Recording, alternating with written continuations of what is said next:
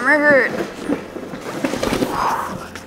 This is the LG 49 inch ultra wide display. Yes, we've been doing a lot of fun display stuff recently. Oh my gosh, is it like almost as tall as me? This is crazy. I am five, six on a good day for reference. Shout out to CleanMyMac for sponsoring this video. So this is a QHD 5120 by 1440 display and shout out to my 32 inch ultra wide. Moment of silence for that thing. It uh, got destroyed in the move.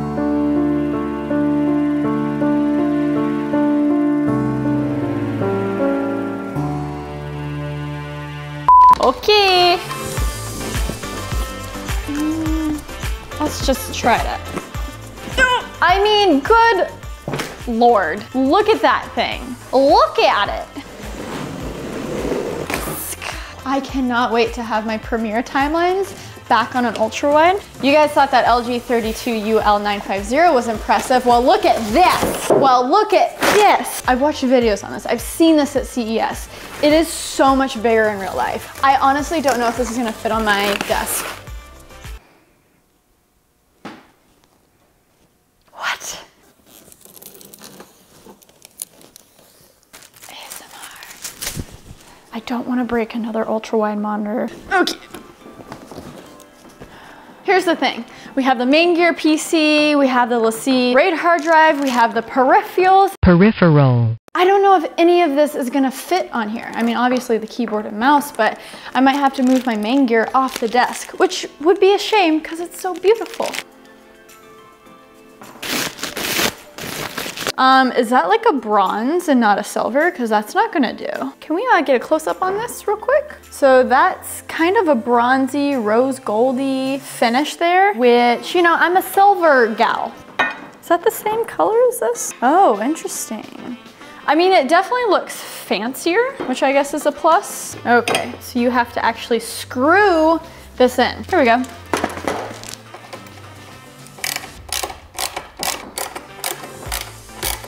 Okay, good. So there's actually some... This is definitely quality content, yeah. Very entertaining. Look at that. Look how much the stand takes up. Oy vey. Nice. We're definitely gonna have to move my uh, PC off the desk. Let's just see what it looks like. Oh my gosh, this is so heavy. This is so heavy. Hey. Hey. Guys, I might be able to leave it. I need to go to the gym. There's no way. There's no way.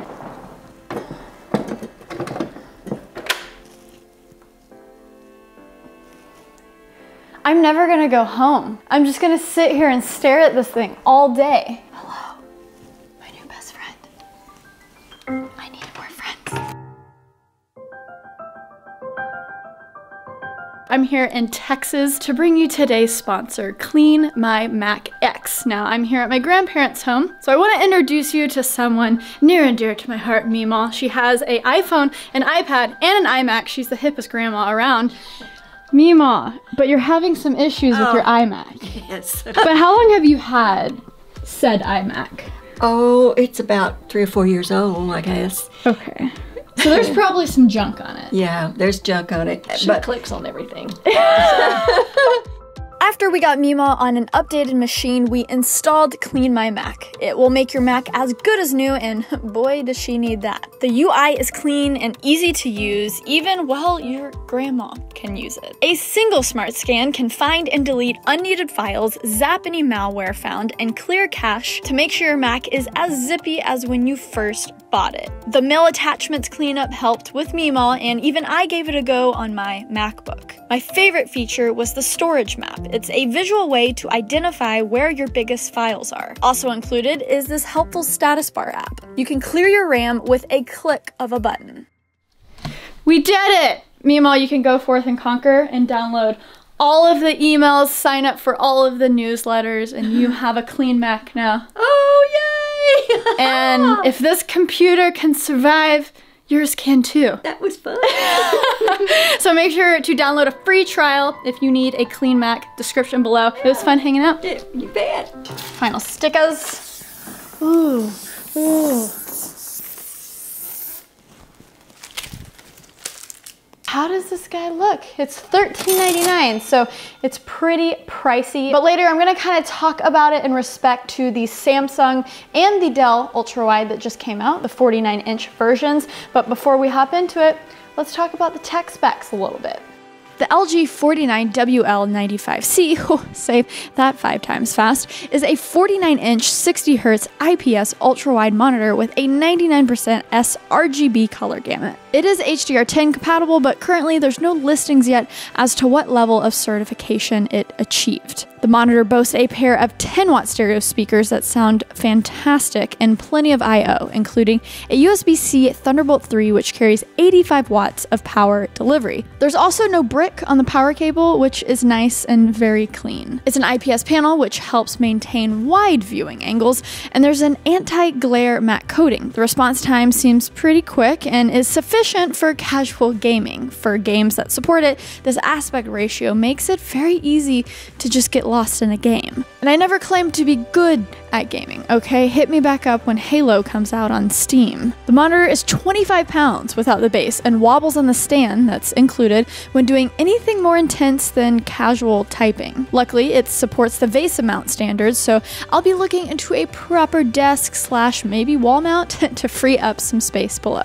I don't have any scientific way of proving that this looks better than my old 34 UC98. The vertical resolution of 1440, well, is exactly the same, but it just looks better to my eye, a little brighter and more on par with the colors you will usually get from Apple computers. Just fired on the Maingear PC and it looks like it's uh, getting stretched a little bit. I wonder what the initial setup will be like. Don't look at my password. Don't stop. Don't look at my password. God. There we go. So you have to use the display port if you want the full 5K. The problem was with my other ultra wide, I was using the HDMI cable. Okay, initial thoughts. Wow. The first thing that I'm gonna do is go to my friend's video about New York. This display, unlike the Dell, has some beefy speakers built in, so we'll test out that too. Look how far over I'm like, I'm, I'm trying to hit the 1080, make sure it's in 1080. I'm like, hey over there, how are you? Yeah, can we get this in 1080? What a wild world we live in. Speakers sound great. That's me. Gonna move the Rugged RAID drive to another desk because when transferring over to this, it's super quick via Thunderbolt 3. Don't have Thunderbolt 3 on the Maingear, so I'm using my Dell XPS to transfer over to here most of the time so we can move it to another desk, make this a little bit more of a clean setup. Oh my gosh, look how messy it is over here, guys. And this is what we call tomorrow's problem. Look, the speakers fit perfectly.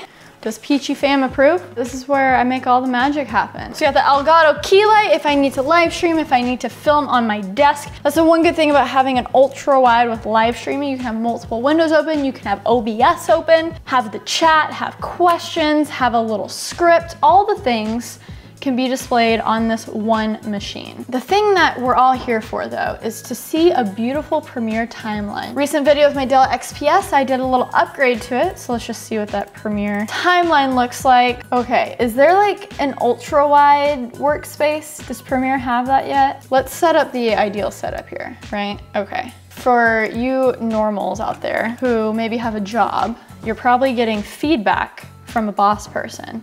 So let's go to like, oh, frame, frame.io. People use that for giving feedback on videos. All right, maybe I'm on Videoblocks. Maybe I need some assets, you know? Just shout out to all of the sponsors. Oh, well, frame.io isn't sponsoring me yet.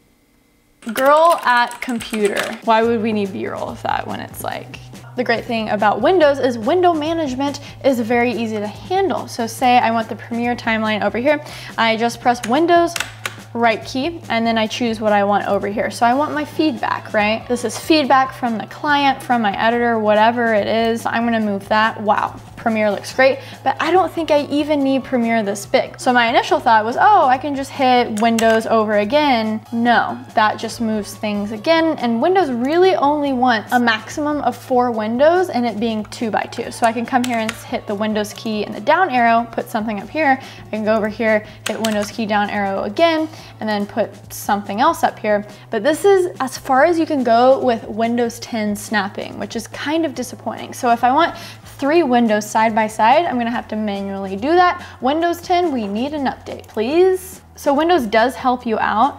You see how it's keeping the window there?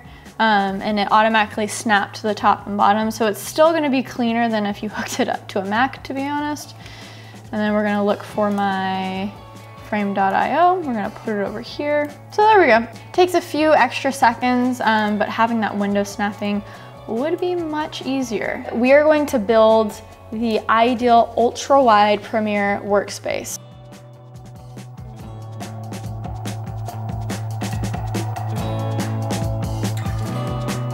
Okay, so this would be the ultimate Premiere setup. Look how beautiful. I'm only using what? Two thirds of the screen, we have this section over here for feedback of the video, you know, Frame.io. Someone left some notes for me to change in my edit so I can look at that. Oh, okay, cool. Come over here, see where it is. Oh yeah. Oh, it's right here. Okay, zoom in. Let's edit that. Let's change that. Oh, that timeline, that timeline. Is it not just beautiful? I moved my main window to more of the center so I'm not I'm not over here watching watching the playback. So it makes more sense to have it more in the center. I have my effects controls right here, essential graphics to the right over here, but the main feature is the project window. This is where all your footage is, all of your assets look at how beautiful that is. A lot of times people will have an entirely different monitor that's vertical just to have their project window, to have all their footage. See, I color code based on what the frame rates are. And so I can scroll through there, see what I have preview here. Oh, okay, cool, cool, cool. I can come over to here. This is what we call icon view. Look how beautiful that is. So you know right off the bat, the footage that we're already working with, you can set in and out points from here, preview it in the, in the window.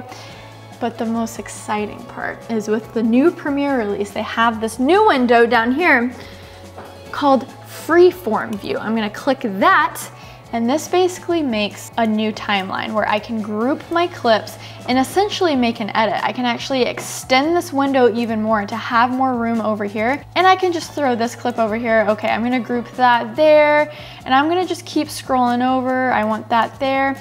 And you can just basically make a rough edit in your freeform view. So ideally when I'm grouping these things, you know, maybe I'm setting an in and out point. Okay, in out point. I can set an in and out point from this view and then I can just drop it. That's not the full clip, that's just what I selected. Or maybe I already set all of the in and out points for these clips, right? I've grouped them together and then I say, okay, I want all of that on my timeline now. And look, it just drops all of the clips, a new, a new video that you've edited over, over here in the project window. Wow.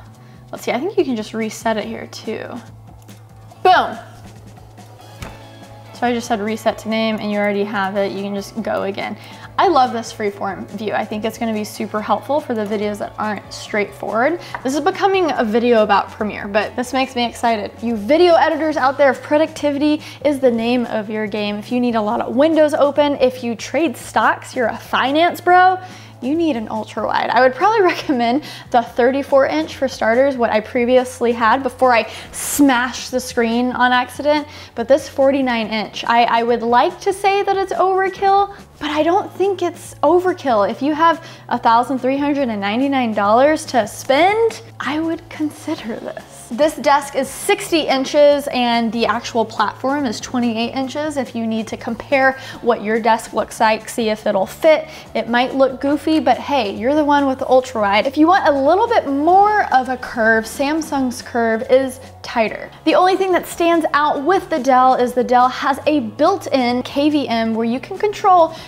two different desktops with one keyboard and one mouse. So that has a lot of different applications. Maybe you have a Mac and a PC desktop, then you'd be able to control it with the same keyboard and mouse, which is pretty cool. LG has software that you can download to do that, but hey, I would take a hardware solution any day over software. The LG one you can pre-order and apparently it's coming soon. And then Dell ultrawide ships starting April 29th. So a lot of similarities between the LG and Dell. Samsung's the obvious choice for you gamers. And I'm just here to say, ultrawides are here to stay. Let's just, let's just take a step back here so we can take it all in, right? Okay, well thank you so much for joining me on this video. Let me know what you think about this monitor, maybe ultra wides as a whole. Hit that subscribe button for new videos every single week. And check out my link in the description for CleanMyMac X. Is your Mac slow? Get it running exactly the way it was when you first got it, you know? Okay, thank you for watching. I've been having fun. This is fun. I love unboxing things and new tech. Okay, stay peachy. Okay, bye.